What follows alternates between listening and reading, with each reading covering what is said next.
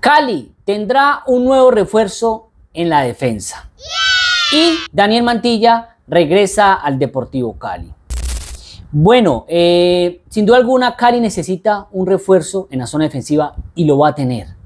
Y en ese abanico de opciones que tiene la Junta del Deportivo Cali, de centrales colombianos, extranjeros, le llegó, eh, digamos que una oferta o le llegó la opción para que David Martínez central argentino, nacionalizado paraguayo, de 26 años, pueda llegar a préstamo al cuadro verde y blanco, ¿no?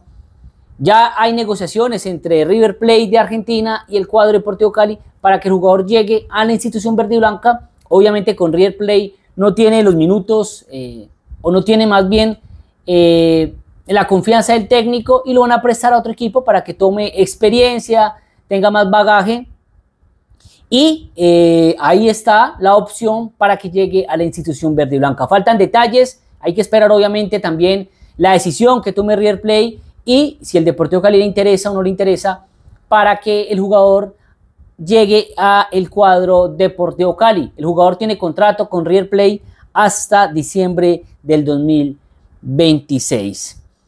Eh, el jugador Comenzó su carrera en River Plate de Argentina en el 2018, en diciembre del 2018, luego pasó por Defensa y Justicia en el 2019 y regresó nuevamente a River Plate en el 2021. Tiene un palmarés amplio, todos sus títulos con River Plate, Supercopa Argentina 2019, Primera División 2021, Trofeo de Campeones con River Plate 2021, Primera División 2023, Trofeo de Campeones 2023, Supercopa Argentina 2023 y un título de Copa Suramericana con Defensa y Justicia en el 2020. Me parece que tiene eh, un palmarés amplio ese muchacho, 26 años. Eh, esperar a ver cómo termina esta negociación, si le interesa o no al Deportivo Cali y si River Plate obviamente también pues pasaría o prestaría el jugador a préstamo, sería por un año para que llegue a la institución azucarera. Yo les digo algo, yo no sé, la verdad les digo, no sé si este muchacho sea el central que necesita el Deportivo Cali. Porque me parece que el Cali necesita un central de experiencia, jerarquía, un bastión en la zona defensiva. Es que el Cali no lo tiene. Ahora, este muchacho podría ser lo mismo que Caldera, lo mismo que Palacios, lo mismo que Brian Montaño. Sería lo mismo, ¿no? Entonces no creo que haya mucha diferencia. Ahora, si lo van a traer a David Martínez, pero van a traer un central de experiencia, bienvenido sea.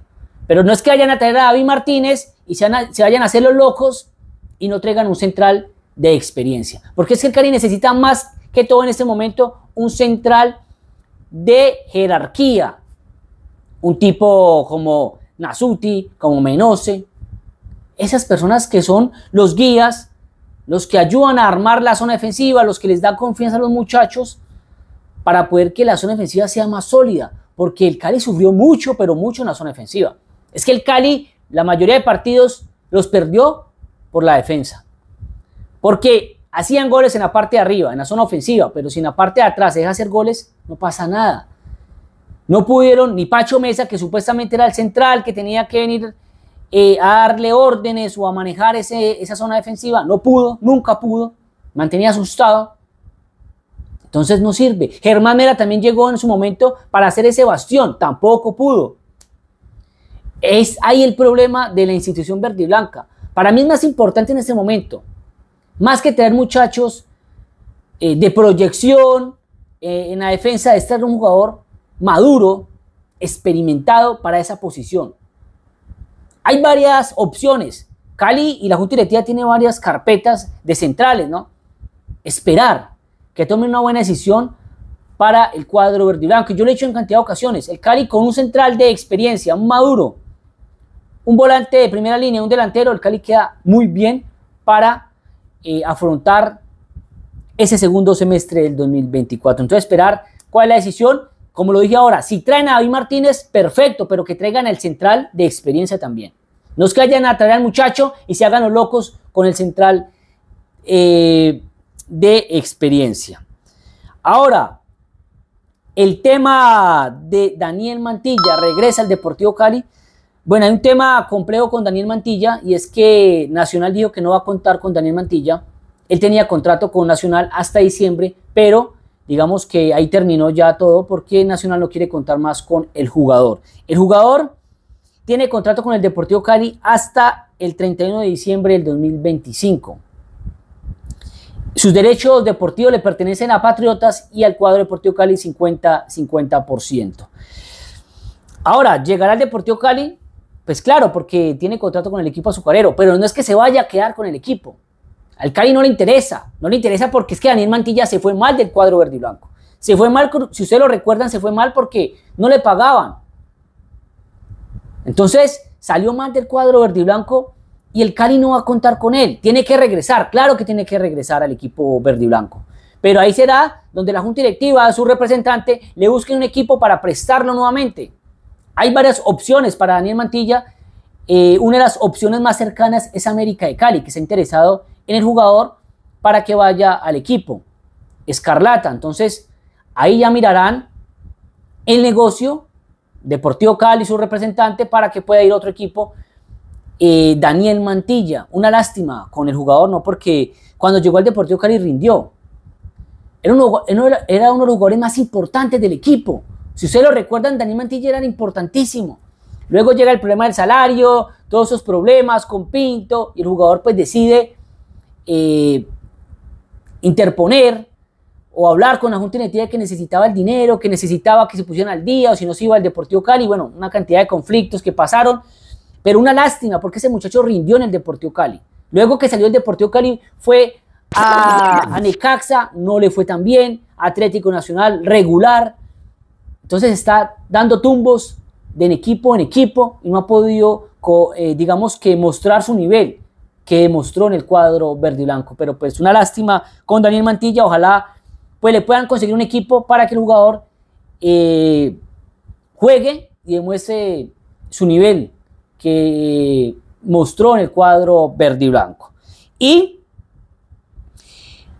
recordarle a todos los asociados que el martes 11 de junio del 2024 habrá una convocatoria asamblea extraordinaria, una convocatoria para la asamblea extraordinaria para la elección del quinto miembro del comité ejecutivo. Eso será el martes 11 de junio del 2024 a las 5 de la tarde en la sede Alex Gorayev.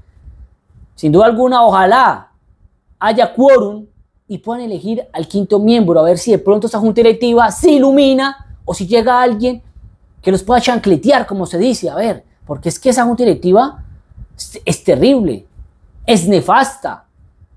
Cali comenzó entrenamientos el día lunes y hasta el momento no hay entrenador. Y todavía siguen mirando hojas de vida, dañando negocios, porque lo de Torres estaba casi listo y lo dañaron.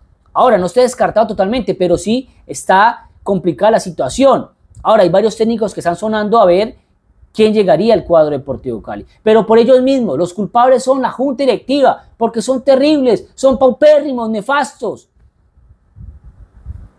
Ahora hay que esperar con qué van a salir. Ojalá sea una buena decisión, hermano, porque uno les da hasta miedo a esos señores que salgan con cualquier técnico de la C, de la B, porque así son ellos, ¿no? Son peligrosos.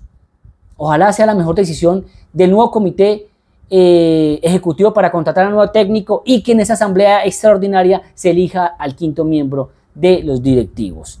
Me gustaría que ustedes dieran aquí sus opiniones acerca de qué opinan de David Martínez, el central argentino, que podría llegar al cuadro azucarero y qué opinan de Daniel Mantilla. ¿Les gustaría que llegara o regresara al Deportivo Cali?